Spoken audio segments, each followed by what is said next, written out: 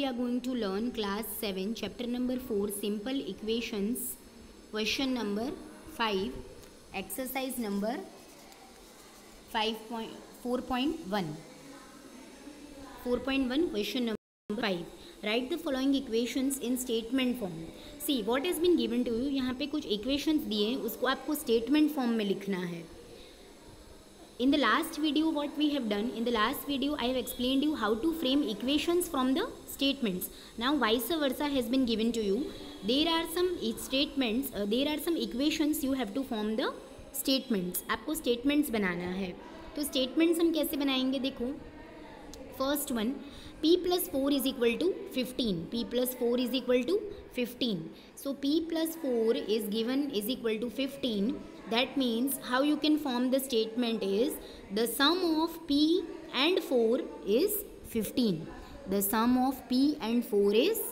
15 2m is equal to 7 that is 2 multiply m is equal to 7 so 2 times m is equal to 7 what we will be writing? 2 times m is equal to 7 because times means multiplication. Then fourth one m upon 5 is equal to 3 that is fifth part of m. This is m upon 5 means what? It is the fifth part of m. Fifth part of m gives us 3 fifth part of M is equal to three भी लिख सकते हो? Gives us three वो भी लिख सकते हो. दोनों सेम ही हैं.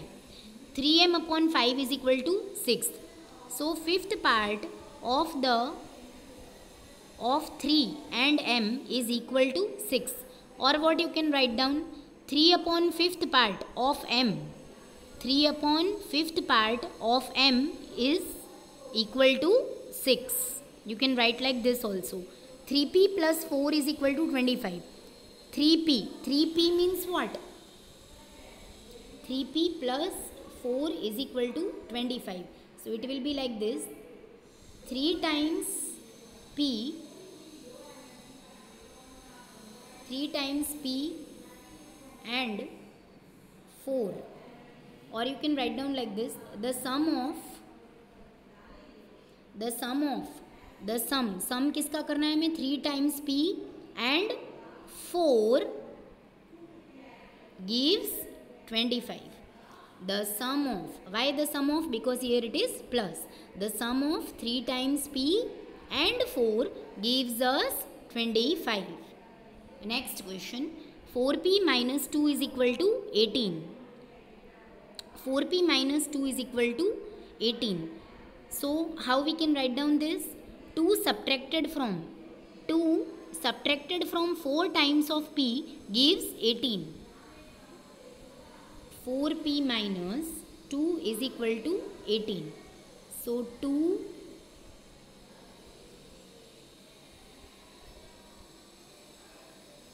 subtracted from subtracted 2 is subtracted from what 4 times p from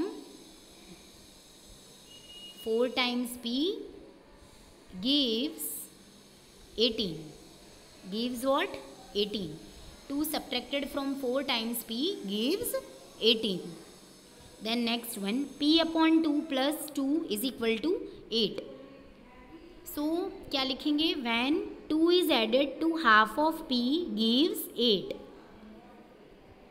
p upon 2 plus 2 is equal to 8 this is the eighth question.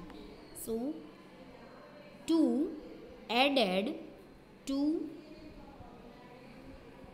half of this is what? Half of p?